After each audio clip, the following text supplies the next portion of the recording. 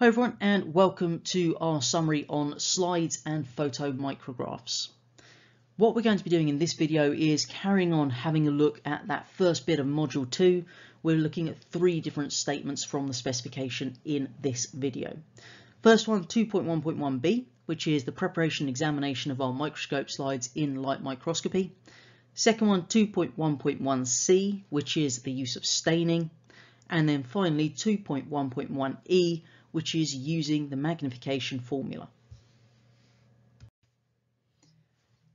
First thing then is when we're thinking about a light microscope, one of those key bits that was an advantage from our previous video looking at the types of microscope was we can look at living specimens. So things like our amoebas, paramecium, etc., they're single cellular and therefore when we view them under a light microscope we can literally look at the whole organism doing its thing. Now because we're looking at a living specimen we need to be careful how we do this. You don't just want to throw a whole load of stains on it and hope for the best because some of them may well kill or affect that organism. So usually if we want to look at a living specimen what we're going to do is use that diaphragm underneath the stage there to just reduce the illumination. So the diaphragm basically adjusts the amount of light that's passing through and therefore you can actually get quite a clear image of the specimen just by adjusting the amount of light passing through it. We also have the option of staining different things. So sometimes we will want to use a stain in order to make things a bit clearer for us. Now, when we're talking about a stain, this is just a coloured chemical that's going to bind to a molecule in or on a specimen. And one you should have used lower down the school would have been methylene blue. So if you took some slides and of your cheek cells, you'd have added some methylene blue to be able to see those features more clearly. At A level, we need to understand the phrase differential staining. Now, when we're talking about differential staining, we're talking about stains that bind to these specific cell structures. And what they're going to then do is stain each of these structures differently so that we can then easily identify that range of structures in that single preparation. So what do I mean? Let's give you some examples here to hopefully make that a bit clearer. We've got four different examples here of stains that we can use in our differential staining. We've got this one called acetic orcein. Now that binds the DNA and once we've actually added this stain to it, then chromosomes are going to appear dark red when you look under the light microscope at it. If we use a stain called eosin, that will stain our cytoplasm so that we can actually see the detail there. If we use Sudan red, that will stain lipids.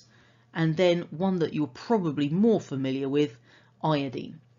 Now, the iodine solution that you use, the iodine within there is going to stain two key parts of our plant cells differently. We'll stain the cellulose, which is obviously part of our cell walls, yellow, and it will then stain any starch granules that we find in our plant cell this blue-black colour.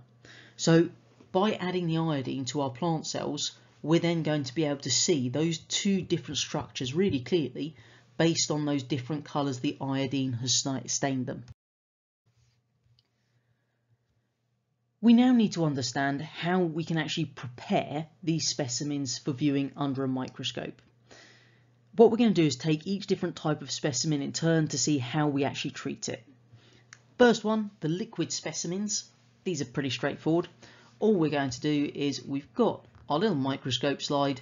We just add a few little drops of the sample onto our slide using a pipette and then we place a cover slip over the top. What we do then is we're going to press down gently on the cover slip with the goal of removing any air bubbles. Now, the reason we're going to press down lightly is that when you've actually put your cover slip on there, depending on how careful you are with this, you could very well end up with a whole load of air bubbles underneath. When you look at it under a light microscope, you've got these big, dark black rimmed structures, circular structures. those are air bubbles, okay?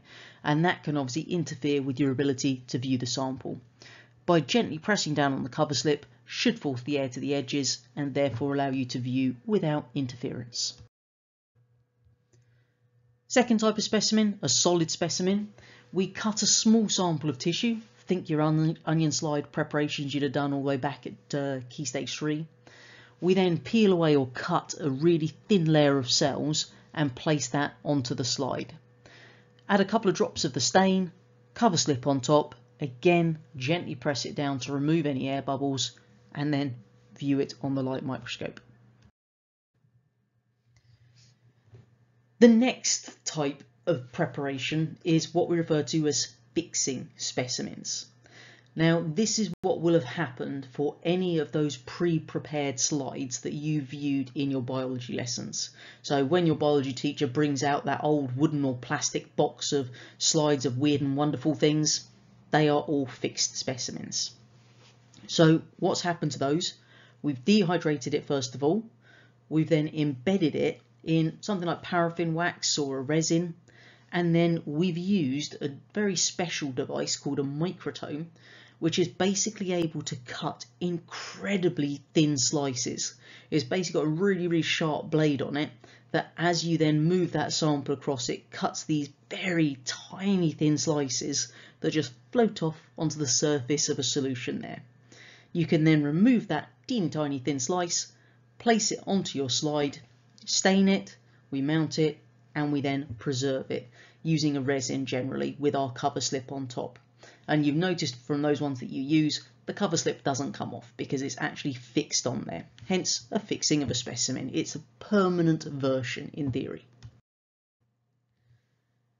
The last bit we need to understand then is this magnification calculation. So our formula magnification is image size divided by actual size this is one of those that I always try to get my students to remember using our little triangle of I am. Why I am, it's easy to remember. So I is your image size, A actual size, M magnification. So you can use your triangle method if you don't like rearranging stuff to rearrange quite straightforward, or you could obviously rearrange in a mathematical way. Makes no difference, it just means that you get the right formula to use for whatever the question is. So if we have a look at our little question here, if a nucleus has a diameter of 10 millimeters on a photomicrograph with a 1000 times magnification, what is the actual diameter? So in this case, we're trying to work out our actual diameter.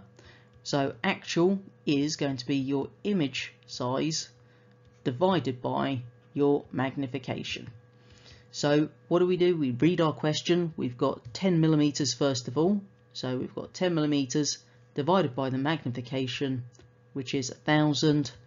Then we're all going to make sure that we take our calculators to all of our biology exams. That gives us a value of 0.01 millimeters. So one thing I will say is look out on any of these calculation questions for any units. Might be in the question, might be where they give you that little bit there on the answer line and then there could be some units here. If it's in micrometers, obviously we would need to convert. If we've got millimeters to convert it to micrometers, all we need to do is times it by a thousand. So in that case, we would end up with something that was 10 micrometers. Look out for those though, because one thing that people quite often do on calculations to do with microscopes, you're using centimeters or millimeters and you don't convert to the micrometers. So watch out for it to not throw away that mark. As always, I recommend subscribing to the channel so you can see when I next upload a video and do head on over to the A-Level Biology website where you can access things like the summary PowerPoints, questions, etc. that are all there to help you with your A-Level studies.